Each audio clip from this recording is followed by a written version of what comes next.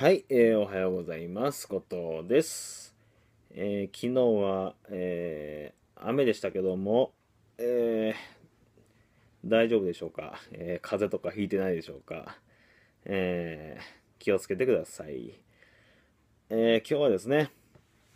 これですね、分かっとんか？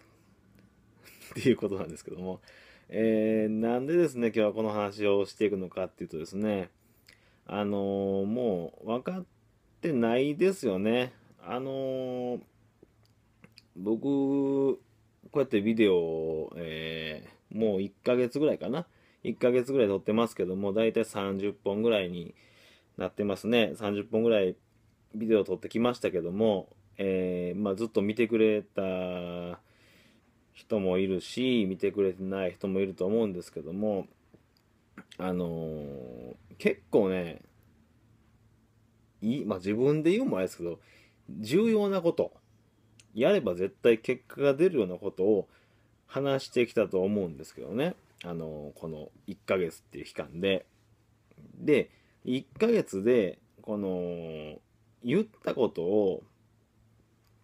多分ね、どうせやってないんじゃないかなと思うんですよね。まあどうせやってないと思います。え、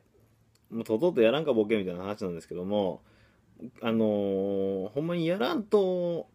何も変わらんので、えーやってほしいんですけども、あのーまあ1本目から、えもう30本近く取りましたけど、あの全部1ヶ月で実実行することはちょっと難しいかもしれないんですけども、あのどれか一個でもね、自分にできるかなと思ったことを積極的にどんどんどんどん、えーやってもらいたいと思います。えーやらないと何にも変わりません。あの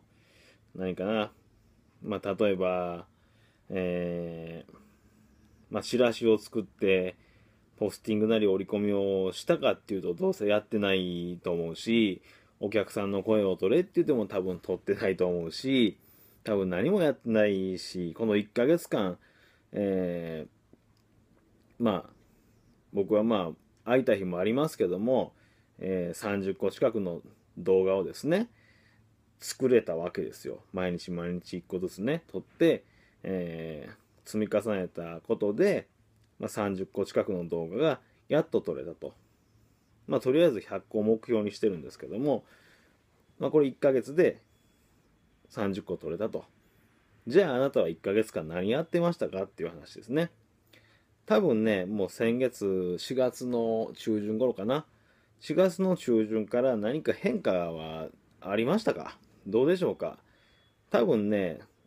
大してなかったんじゃないんじゃないですかね。常にあの、何かこう冒険というか、行動を起こしてほしいと思うんですね。まあその、別に強制はしませんけども、まあ自分で決めることなんで、でも多分あの、何かこう変えていきたいと思って、このビデオを見てくれてるんであれば、そろそろやったらどうかなと思います。えなので今日はこのね、分かっとんかっていう話で、えー分かってないですよね。えーそろそろ何かやってください。やれば絶対に成果が出るので、えー自分を信じてですね、え思い切って行動して、いろんな失敗して、悔しい思いをしながら、どんどんどんどん成長して、大きくなってもらいたいと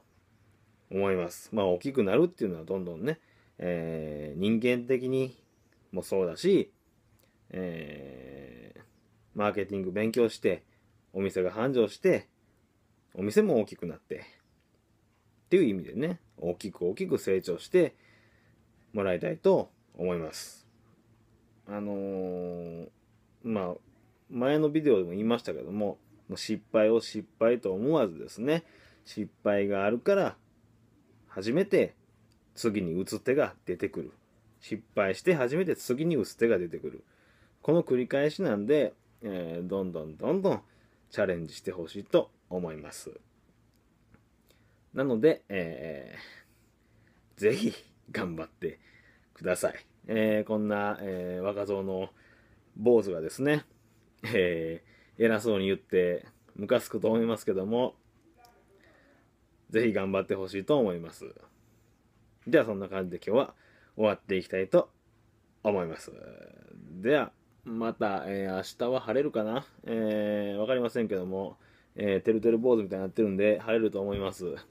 えー、じゃあ、今日は終わっていきたいと思います。ではまた次回。